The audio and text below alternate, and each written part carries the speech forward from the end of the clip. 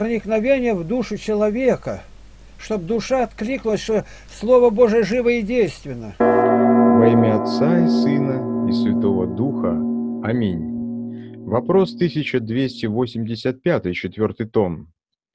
Когда Израиль шел в обетованную землю, то Моисей прельстился на Эфиоплянку и взял ее в жену, а Мариам, родная его сестра, упрекала его за это. Казалось бы, что Мариам поступила правильно, обличив Моисея, но Бог ее наказал проказой. Почему? Ответ Игнатия Лапкина, числа 12 глава 1 стих. «И упрекали Мариам и Аарон Моисея за жену Ифиоплянку, которую он взял, ибо он взял за себя Ифиоплянку». Мы не знаем, когда появилась эта Эфиоплянка возле Моисея, в тот ли момент, когда он вышел из Египта или раньше. В то время многоженство не запрещалось, а закон Израилю еще не был дан. Его жена Сипфора оставалась со своим отцом в пустыне, где он еще раньше познакомился с ней. Ниоткуда неизвестно, что он ею прельстился. Что могла говорить ему Мариам, мы не знаем, но исходим из того, как на это отреагировал сам Бог. Он покрыл ее проказой за дерзость, за уничижение брата, и этот урок ей был на всю жизнь и для всех женщин до настоящего времени. Числа 12 глава с 8 по 15 стихи. «Устами к устам говорю я с ним, и явно, а не в гаданиях, и образ Господа он видит. Как же вы не убоялись упрекать раба моего Моисея?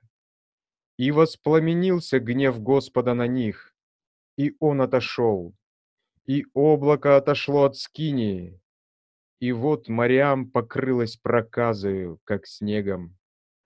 Аарон взглянул на Мариам, и вот она в проказе.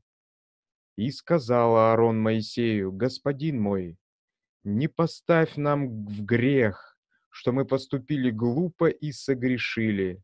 Не попусти, чтобы она была как мертворожденный младенец, у которого, когда он выходит из чрева матери своей, истлела уже половина тела.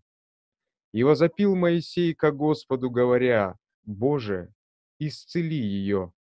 И сказал Господь Моисею, «Если бы отец ее плюнул ей в лице, то не должна ли была бы она стыдиться семь дней? Итак, Пусть будет она в заключении семь дней вне стана, а после опять возвратится. И пробыла Мариам в заключении вне стана семь дней, и народ не отправлялся в путь, доколе не возвратилась Мариам. Почему ее так занесло, в кавычках? Где она этому научилась?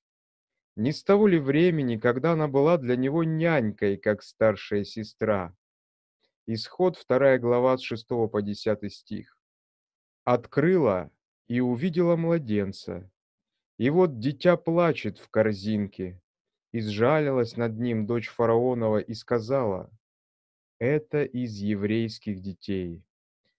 И сказала сестра его дочери фараоновой, не сходить ли мне и не позвать ли к тебе кормилицу из евреянок, чтобы она вскормила тебе младенца?» Дочь фараонова сказала ей, «Сходи». Девица пошла и призвала мать младенца. Дочь фараонова сказала ей, «Возьми младенца сего и вскорми его мне, я дам тебе плату».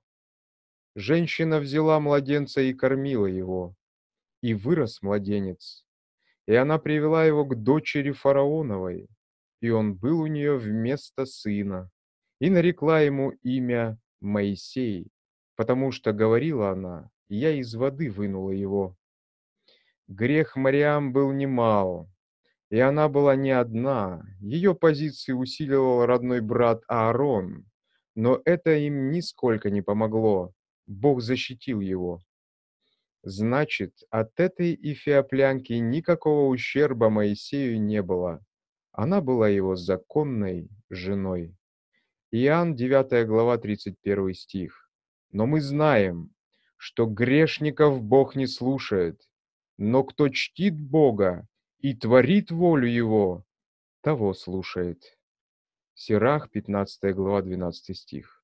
«Не говори, он ввел меня в заблуждение, ибо он не имеет надобности в муже грешном». И Бог разговаривал с Моисеем лицом к лицу, а если бы тот был виновен, то этого бы не могло быть. Исход 22-28. Судей не злословь, и начальника в народе твоем не поноси. Этот грех карался смертью, и когда апостол Павел понял, что виновен в этом, он сразу же дал обратный ход. Виновен не знал. Деяние 23 глава 5 стих. Павел сказал, «Я не знал, братья, что он первосвященник, ибо написано, начальствующего в народе твоем не злословь». Со стариками, моя дочь, не спорь, Седин стариковских ты не позори. Готовь себя, дочка, к жизни большой.